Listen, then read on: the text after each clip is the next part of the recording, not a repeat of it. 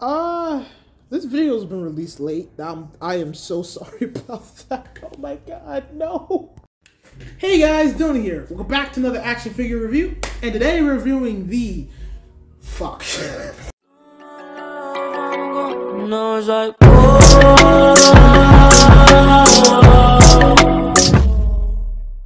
And today we're reviewing the God of Thunder, Thor Odinson.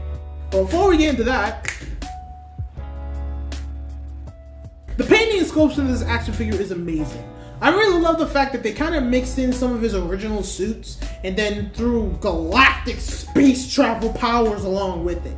It just looks amazing, honestly. If this is if this what Thor's look if this what Thor looks like as he becomes the the king of Asgard or New Asgard, whatever you call it, I can definitely say I love this. I mean, I do. I really do. I love the um, stripes. I love how they combine the rest of the action figure. I love the silver, the black, the blonde hair, the black crown, prince. And then finally, we get to the cape. The cape is amazing. I didn't think they nailed this cape, but they did. And the coolest thing about it is that even though it has all this stuff, it doesn't limit articulation at all. I can't. I can't. I, normally, capes, long capes, and all that limit stuff. Like when I got Gorr the God Butcher, that thing was limited in articulation. I was afraid to use them, but this thing is different. This thing is different. This thing, if, how can I explain this? This thing is just, it's just, it's better. I love the inside of the cape too because they didn't cheap out. They were like, oh, they can't see the back of the cape. It doesn't matter. Yes, it does. And I'm glad they saw that because in the back, the purple and red merging, that is. You can't say anything bad about this figure, bro. It's sad, but it's true.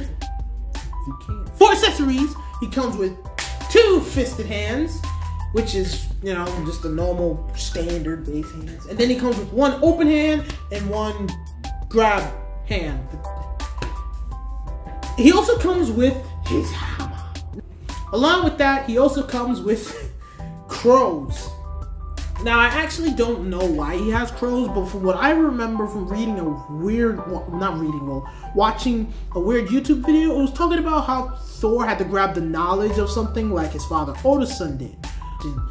Now, remember when I told you Kang was like the best Marvel Legend figure for me because it didn't have the normal articulation on the arms. It just had the, one of those old joints so that I didn't have to worry about it breaking.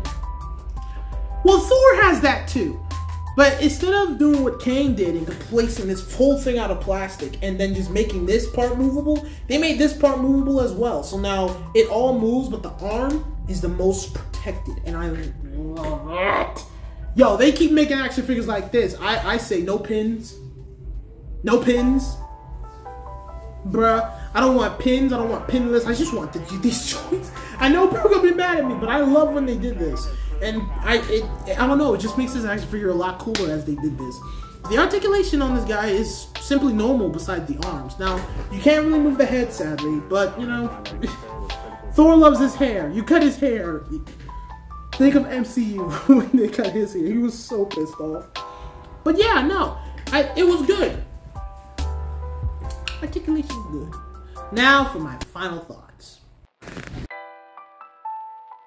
So here's the thing. The original audio I actually recorded at my college because I was low on time, but you guys should just know that this action figure is amazing. It's perfect. If you want a Thor that just just just has this weird black force energy, then just get this guy. Like three stars all around. Thank you guys for watching. Like this video, like, subscribe, and I'll see you guys next time. Bye!